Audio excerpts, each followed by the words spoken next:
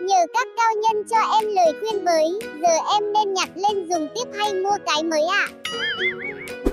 Há mồm vào đấy làm gì để nó rơi vậy?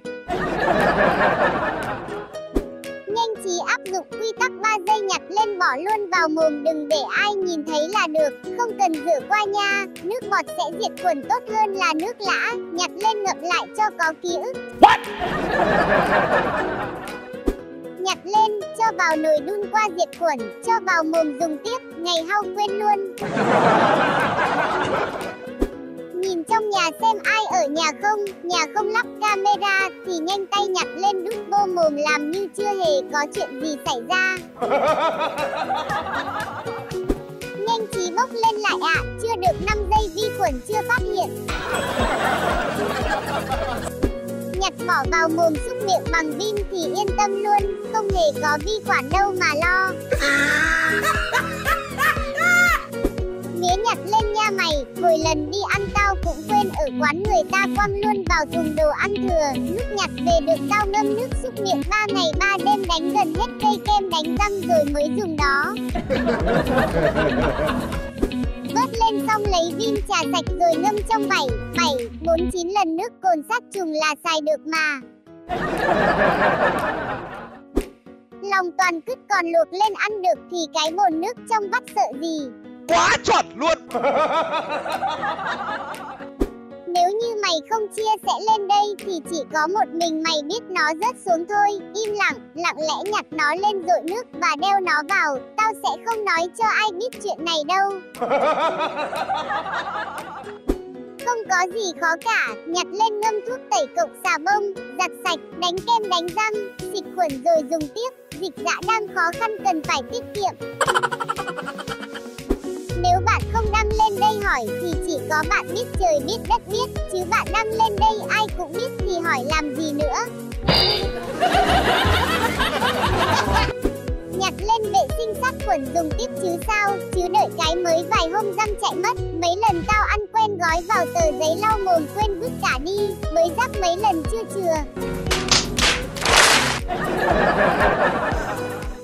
Mùng 8 tháng 3 anh cho em 1 triệu nha Tùy anh. Vậy 3 triệu nha.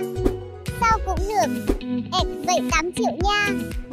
Sao cũng được mà. Thế 15 triệu nha. Vâng. Tôi còn 20 triệu anh vừa chuyển hết cho em đó. Dạ mãi yêu.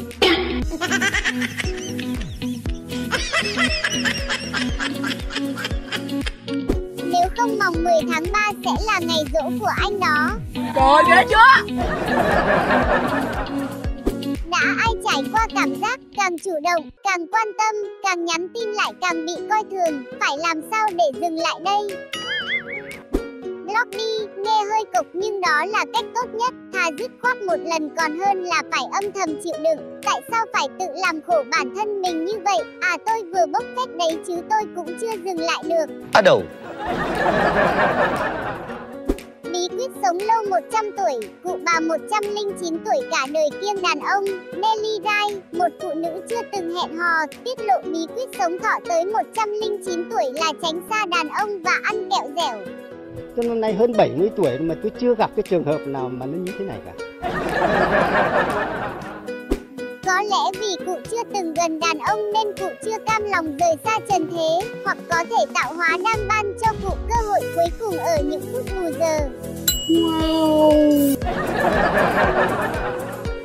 Xin lỗi cụ, nhưng cho cháu hỏi có phải cụ chuyển giới không ạ? Thực ra bí mật của cụ là sống lâu do hên xui, còn cụ không cần đàn ông là do bản thân cụ cũng là đàn ông rồi mà chưa ai biết thôi. Ai muốn biết hãy inbox cho cụ. À đầu. Buồn, Tổng thống Ukraine cứ hai ngày phải livestream tại văn phòng một lần để mọi người chắc chắc ông không hề trốn sang Ba Lan. Putin xét cho tao xin tọa độ, tao gửi ít quà qua. Hai ngày nữa mà không thấy ông livestream nữa thì hiểu rồi đấy. Livestream tại văn phòng nhưng văn phòng của ông ấy ở đâu thì không ai nói. Xin cách pha tỏi ớt trong bát nước mắm để nó nổi ạ. Cho nó mặc áo phao, auto nổi. Tạo drama cho nó. What the hell? Tập bơi cho nó đi ạ. Qua một bài đăng thôi mà tôi đã nhận ra rằng ở top comment này có rất nhiều đầu bếp tài ba, cụ thể là bộ môn pha nước chấm. Bắt chanh trước rồi cho tỏi ớt sau, lý thuyết thì là vậy chứ lần nào làm cũng chìm nghỉm. Hiểu kiểu gì? Nổi hay không còn tùy duyên, cứ pha chơi thì nổi, nhà có khách thì chìm.